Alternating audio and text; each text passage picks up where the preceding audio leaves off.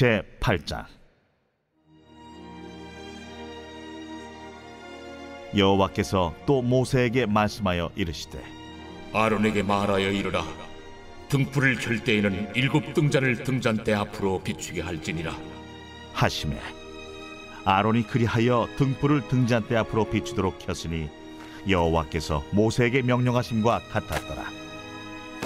이 등잔대의 제작법은 이러하니 곧 금을 쳐서 만든 것인데 밑판에서 그 꼭까지 쳐서 만든 것이라. 모세가 여호와께서 자기에게 보이신 양식을 따라 이 등잔대를 만들었더라. 여호와께서 모세에게 말씀하여 이르시되 이스라엘 자손 중에서 레위인을 데려다가 정결하게 하라. 너는 이같이 하여 그들을 정결하게 하되 곧 속죄의 물을 그들에게 뿌리고 그들에게 그들의 전신을 삭도로 밀게 하고 그 의복을 빨게 하여 몸을 정결하게 하고 또 그들에게 수송아지 한 마리를 번제물로 기름 섞은 고운 가루를 그 소제물로 가져오게 하고 그 외에 너는 또 수송아지 한 마리를 속죄 제물로 가져오고 레위인을 회막 앞에 나오게 하고 이스라엘 자손의 온 회중을 모으고 레위인을 여호와 앞에 나오게 하고 이스라엘 자손이 그들에게 안수하게 한 후에 아론이 이스라엘 자손을 위하여 레위인을 흔들어 바치는 제물로 여호와 앞에 드릴지니 이는 그들에게 여호와께 봉사하게 하기 위함이라. 레위인으로 수송아지들의 머리에 안수하게 하고 내가 그 하나는 속죄 제물로 하나는 번제물로 여호와께 드려 레위인을 속죄하고 레위인을 아론과 그의 아들들 앞에 세워 여호와께 요제로 드릴지니라. 너는 이같이 이스라엘 자손 중에서 레위인을 구별하라 그리하면 그들이 내게 속할 것이라.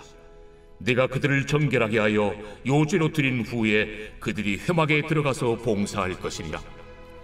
그들은 이스라엘 자손 중에서 내게 온전히 드린 바된 자라. 이스라엘 자손 중 모든 초태생 곧 모든 처음 태어난 자 대신 내가 그들을 취하였나니. 이스라엘 자손 중에 처음 태어난 것은 사람이든지 짐승이든지 다 내게 속하였음은 내가 애굽 땅에서 모든 처음 태어난 자를 치던 날에 그들을 내게 구별하였음이라 이러므로 내가 이스라엘 자손 중 모든 처음 태어난 자 대신 레위인을 취하였느니라. 내가 이스라엘 자손 중에서 레위인을 취하여 그들을 아론과 그의 아들들에게 주어 그들로 회막에서 이스라엘 자손을 대신하여 봉사하게 하며 또 이스라엘 자손을 위하여 속죄하게 하였나니 이는 이스라엘 자손이 성소에 가까이 할 때에 그들 중에 죄악이 없게 하려 하였음이니라 모세와 아론과 이스라엘 자손의 온 회중이 여호와께서 레위인에 대하여 모세에게 명령하신 것을 다 따라 레위인에게 행하였으되 곧 이스라엘 자손이 그와 같이 그들에게 행하였더라.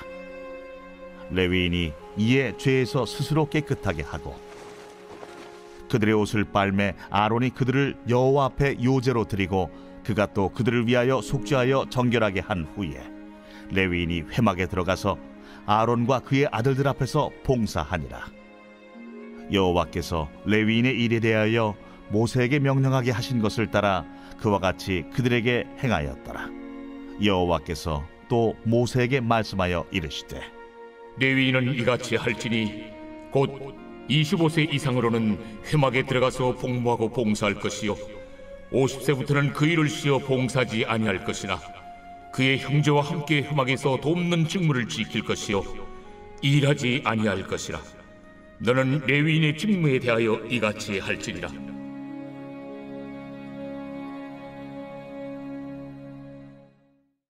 오늘 새벽에도 주님의 보좌 앞으로 나오신 성도님들에게 하나님의 은혜와 평강이 함께 하시기를 축원드립니다.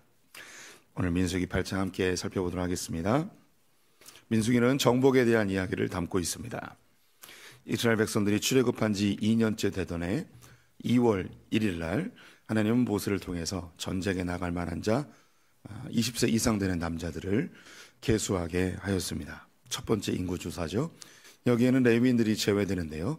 레위인들은 성막을 관리하고 이동하는 일에 투입되게 됩니다. 이스라엘 민족이 이동할 때 그리고 진을 칠 때 그 중심에는 언제나 하나님께 예배하는 성막이 위치해 있었습니다. 즉 이스라엘이 성막을 중심으로 움직이고 머물게 되는 것이죠. 그래서 그들은 군사로 부름받았지만 예배로 예배를 중심으로 하는 군사 공동체이며 예배 공동체임을 보여주고 있습니다.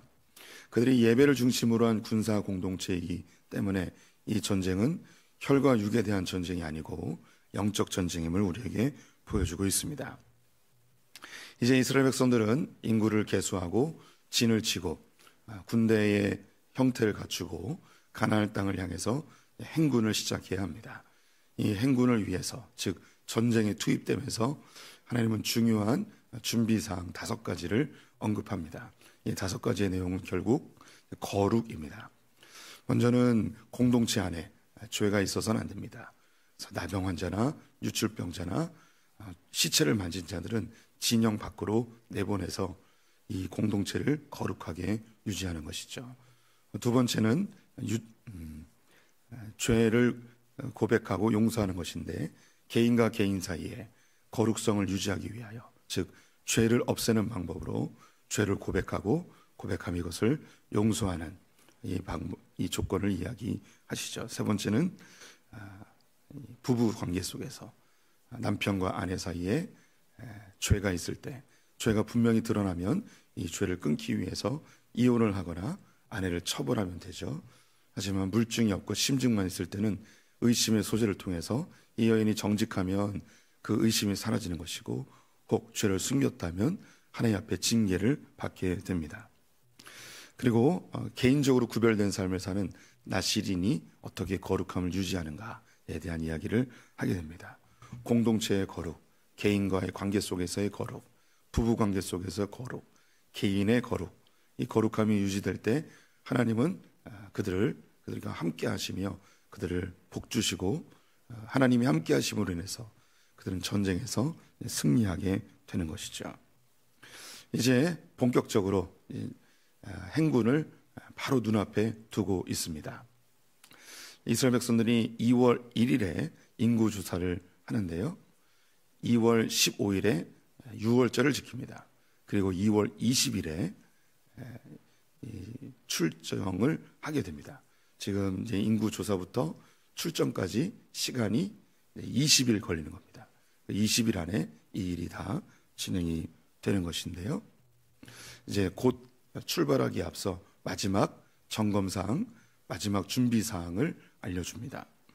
어, 그것이 어제 본 것인데요. 첫 번째, 이 성막을 움직일 때 이스라엘 백성들이 행군할 때 그 중심에는 성막이 있는데요. 이 성막이 어떻게 이동하는지 그것을 알려줍니다. 그것은 아, 열두 지파의 지휘관들이 자원하여서 드린 여섯 대의 수레와 열두 마리의 소로 이것을 움직이게 하였습니다. 게르손 자손이 수레 두 개, 무라리 자손이 수레 네 개, 그리고 고아 자손은 번, 어, 법계를 움직여야 돼서 어깨에 메고 이동하게 되죠. 그래서 이렇게 전쟁을 위하여서 성막은 이렇게 움직여라. 이 수레들을 이용해서 이동해라라고 아, 준비 사항을 알려줍니다. 오늘 8장에서는 아, 등잔 때 이야기와 레위인이 하나님께 드려졌음을 보여주는 장면입니다. 아, 여기 이제 등잔 때를 하나님께서 아론을 시켜서 관리하게 하는데요. 특별히 그 위치에 대해서 언급을 하고 있습니다. 8장 3절을 보시면 아론이 그리하여 등불을 등잔대 앞으로 비추도록 켰으니 여호와께서 모세에게 명령하신과 같았더라.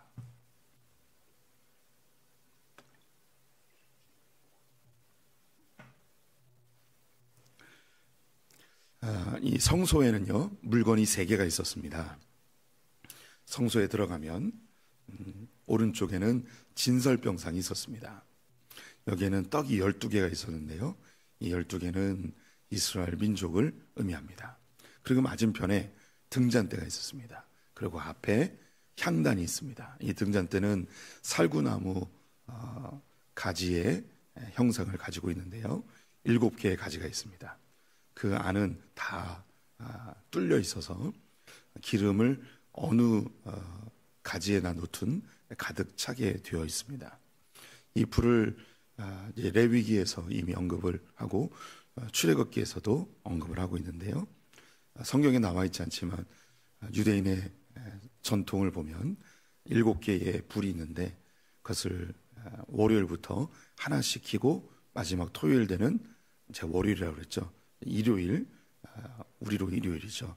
첫째 날부터 하나씩 킵니다. 그리고 그들의 안식일인 토요일에 일곱 개가 다 켜지게 되는 그런 형식을 가지고 있다고 합니다.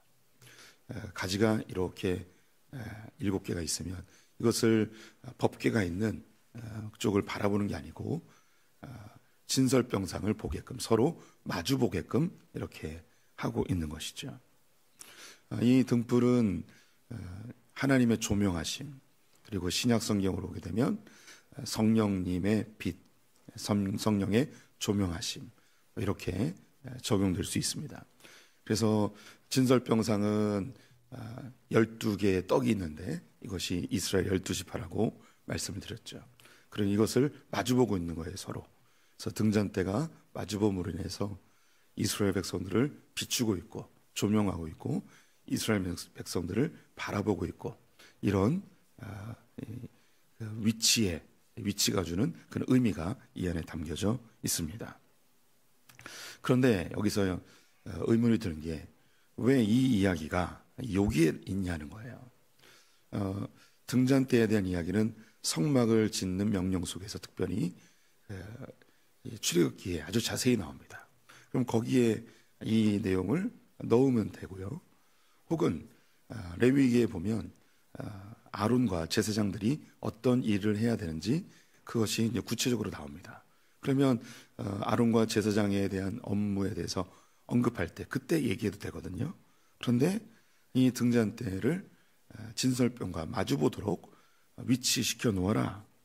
아, 진설병성을 비추도록 어, 위치시켜 놓아라라고 명령하신 이 이야기가 여기 왜 담겨 있냐는 것입니다.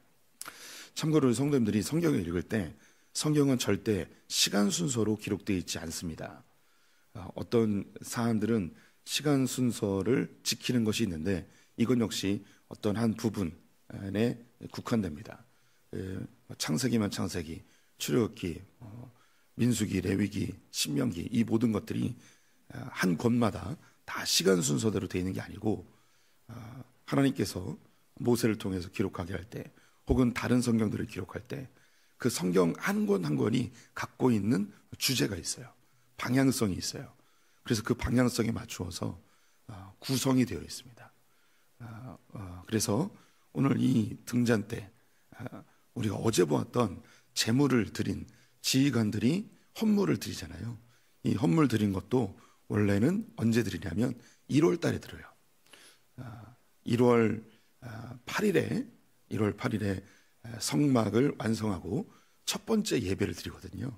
그 첫 번째 예배 때부터 12일 아, 동안 예물을 하루하루 드리도록 되어 있습니다. 그러니까 지금 이야기는 2월 달에 진행되는 이야기예요. 얼굴 표정들이 헷갈리는 표정이십니다. 2월 아, 달 이야기예요. 2월 1일에 인구 조사를 시키고 2월 20일에 출발을 합니다. 그런데 어제 보았던 지휘관들이 예물을 드린 것은 1월 8일부터 1월이에요. 1월 8일부터 12일 동안 드린 거죠. 그러니까 옛날 이야기를 지금 2월 달에 가져와서 하고 있는 거예요. 등잔대에 대한 이야기도 아마도 출애굽기나 레위기를 할 때 이미 언급됐을 거예요. 그런데 하나님은 모세를 통해서 그 이야기를 이 8장 즉 이스라엘 백성들이 가나안 땅을 향해서 전쟁으로 나가기 바로 직전에 이 이야기를 언급하고 있는 거죠. 그래서 이 민수기를 처음 보는 사람들은 아마도 가나안 땅으로 들어가는 출애굽 2세대들이 이걸 보게 됩니다. 이 이야기는 출애굽 2세대들이 가나안 땅에 들어가면서 가나안 땅에 들어가면서 이제 진짜 전쟁을 바로 눈앞에 둔 이스라엘 백성들이 이 민수기를 처음 보게 되는 거죠. 그래서 전쟁을 앞에 두고 이 등잔대의 의미 두 가지를 이야기할 수 있습니다. 우리 성도님들이 아, 올림픽 경기나 아시안 게임 뿐만 아니라 큰 운동 경기를 할 때 꼭 하는 일이 있습니다. 전쟁을 하기 전, 전쟁이라네. 이 경기를 하기 전에 반드시 하는 게 있습니다. 그게 뭐냐면 성화 봉송과 성화 점합니다. 불을 키는 거예요. 그래서 이 불을 킴으로 인해서 아, 이 경기가 시작됐다는 거죠. 처음 올림픽이나 운동 경기들은 지금과 같은 재미있는 스포츠의 개념을 뛰어넘습니다. 아, 옛날에 하던 경기들은 전투에서 가져오는 거죠. 그래서 전쟁에서 칼싸움하던 걸 스포츠로 바꿔서 진짜 죽이진 않고 아, 칼싸움을 하죠. 또 권투, 아, 창 던지기 뭐 이런 것들이 다 전쟁에서 하던 것들이 남성들이 그 에너지를 스포츠로 조금 변화시켜서 아, 진행을 합니다. 그래서 모든 운동 경기는 사실 전쟁의 요소가 있습니다. 싸우는 거죠. 그래서 전 운동 경기 할 때 우리가 응원의 구호로 파이팅을 외치죠. 그래서 외국인들은 한국 사람 보면 어, 좀 무섭대요. 왜냐하면 어, 파이팅은 싸우자거든요. 우리는 어, 뭘 해도 굉장히 열정적으로 하잖아요. 기도도 열정적으로, 먹는 것도 열정적으로, 운동 경기도 죽기 살기로 하지 않습니까? 근데 그것이 맞아요. 원래 이 운동 경기들이 다 전쟁에서 기반을 두고 있습니다. 전쟁을 할 때 등불을 켭니다. 아, 이 등불이 그것이 다 종교적 메시지를 갖고 있는데 아, 그리스에서 올림픽이 시작됐고 그 올림픽의 성화는 아테네 신전에서 점화를 하게 되죠. 그것은 아, 그리스의 신이 이 전쟁을 지켜보고 있고 이 전쟁을 전쟁에 개입하여서 도와주고 있다는 그런 메시지를 담고 있습니다. 그럼 여기서 이 등불 같은 개념입니다. 이제 이스라엘 백성들이 전쟁에 나가게 되는데 이제 전쟁의 시작이다. 그런데 이 전쟁을 내가 지켜보고 있고 내가 함께하고 있다라는 메시지를 갖고 있습니다. 두 가지 메시지 하나는 전쟁의 시작을 알리고 두 번째는 하나님이 지켜보고 있다는 메시지입니다. 그래서 12개 12지파를 상징하는 아, 진설병과 그리고 하나님이 지켜보고 계시다는 이 등잔대가 서로 마주보고 있으므로 하나님이 조명하고 하나님이 비추어 주신다는 하나님이 지켜보신다는 메시지를 담고 있습니다. 그 다음에 나오는 것이 레위인이 하나님께 드려지는 요제의 예배입니다. 어, 레위인들은 성막을 관리하고 성막을 이동시키는 일을 하게 됩니다. 그런데 이 레위인들이 주는 아주 강력한 메시지는 단지 예배를 돕고 성막을 관리하는 것 그 이상의 개념으로 이미 앞에서 언급됐는데요. 그것은 이스라엘을 대표하는 겁니다. 이스라엘을 대신하여 성막을 관리하고 있는 것이죠. 그래서 오늘 이, 이 본문에도 어, 그 이야기들이 계속 반복적으로 나오고 있는데요. 16절, 14절부터 16절을 다시 읽어보겠습니다. 너라는 이같이 이스라엘 자손 중에서 레위인을 구별하라. 그리하면 그들이 내게 속할 것이니라. 내가 그들을 정결하게 하여 요제로 드린 후에 그들이 회막에서 회막에 들어가서 봉사할 것이니라. 그들은 이스라엘 자손 중에서 내게 온전히 드림받은 자라. 이스라엘 자손 중 모든 초태생 곧 모든 처음 태어난 자 대신 내가 그들을 취하였나니 레위인들은 이스라엘을 대신하여 하나님께서 받았습니다. 레위인들은 이스라엘 전체를 의미합니다. 원래 출애굽할 때 6월절에 죽음의 사자가 애굽을 강타하죠. 그래서 모든 처음 난 것들, 아, 모든 장자들이 죽게 됩니다. 고대 사회에서 장자는 그 집안을 대표합니다. 장자가 죽었다는 것은 그 집안이 죽었다는 것이죠. 근데 어린 양의 피를 바른 집들은 장자가 죽지 않죠. 하나님이 살려주신 거예요. 그래서 그 장자의 그 권리는 그 가정에 있지 않고 하나님께 있습니다. 하나님이 가져가신 것이죠. 그런데 각 가정마다 그 장자들을 취하지 아니하시고 하나님은 레위인을 대신 취하여 아, 그 장자들을 대신하는 거죠. 즉 레위인을 취한 것은 이스라엘 전체가 하나님의 소유임을 보여주고 있습니다. 이제 이들이 이스라엘 백성들을 대신하여서 하나님께 드려집니다. 먼저는 아, 속죄의 물을 뿌립니다. 물을 뿌리고 아, 그들이 자기의 몸에 모든 털을 깎습니다. 아, 이것은 자기의 모든 죄를 잘라낸다는 그런 메시지가 담겨 있죠. 그리고 옷을 빨고요, 몸을 절경케 합니다. 그리고 하나님께 예배를 드리죠. 하나님 앞에 속죄의 제사를 드립니다. 자기의 죄를 다 씻고 번제를 드립니다. 내가 하나님 앞에 헌신되었음을 이야기합니다. 그리고 이스라엘 백성들이 와서 레위인들에게 안수를 합니다. 아, 이제 레위인들이 2만 아, 2천 명이었는데 그 중에 성막에서 일할 만한 자가 한 8,800명쯤 됐습니다. 8,800명이 다 안수를 받았는지 아니면 대표자들만 안수를 받았는지 정확히 알 수 없지만 이스라엘의 대표자들과 레위인의 대표자들이 안수하여서 하나님께 드려졌음을 이야기합니다. 그리고 아, 제사장이 와서 레위인을 요제로 하나님께 드립니다. 요제는 이렇게 흔드는 거죠. 요람처럼 흔든다는 뜻이에요. 그래서 하나님 앞에 이렇게 흔듭니다. 흔들어서 하나님과 백성 사이에 중보자의 역할 하나님 것입니다. 이제 하나님 것인데 우리에게 다시 돌려주십니다. 이 메시지예요. 하나님 앞에 흔든다는 건 이 재물은 하나님의 것입니다. 하나님은 나는 받았다. 그런데 이거 다시 너희들이 가져가서 잘 사용해라. 그런데 이것은 나의 소유다. 그래서 하나님 것 다시 백성들에게 돌려주는 흔들어서 그것을 표현해 줍니다. 그래서 이스라엘 백성들을 위해서 레위인들이 하나님께 바쳐졌고 다시 이스라엘 백성들을 섬기는 일에 다시 돌려주는 요제로 하나님께 드리게 되죠. 25세부터 성막에 와서 생활하게 합니다. 5년 동안은 수습의 기간이고 30세부터 본격적인 아, 성막의 일을 돕게 되죠. 그리고 50세까지 하게 되고요. 50세 이후에는 제사를 직접 돕진 않고 옆에서 관리 감독하는 그런 일을 하게 됩니다. 다른 성경들을 보면 20살부터도 해요.